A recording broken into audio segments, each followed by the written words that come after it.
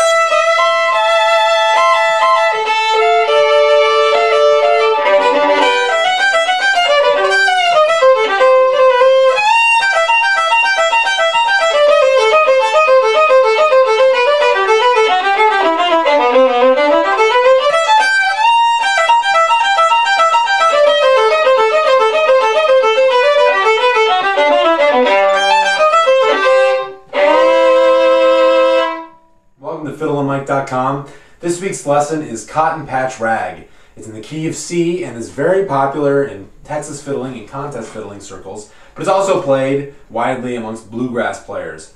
It's even played uh, by guitar and mandolinists. A favorite for them in contests. So if you ever find yourself in a bluegrass jam with guitar and mandolin players, recommend this one and you'll be a real popular person. This is also the first lesson we're doing in the new format. Uh, if you haven't already seen my video explaining this format, um, I was getting a lot of feedback from you guys uh, that it was difficult to use the long videos. I upload 20 minute lesson videos that included a slow track, a fast track, and each different section. And it was hard for you to navigate through the videos. If you wanted to go back and check the first section or the second part or the third part, you had to click around and search until you found it. So I've listened and uh, to use this lesson, um, each different section is going to have a different video uh, clearly labeled on the lesson page. So if you want to listen to it at full speed, you just play the full speed video. If you want to listen to the A section, you can go ahead and click the A section video. And for each section, you'll be able to hear it uh, at half speed, so you can play along or learn it using the half speed track.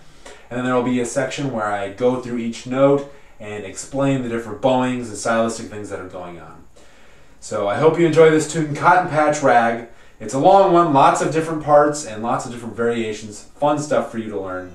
Uh, and so let's get right to it.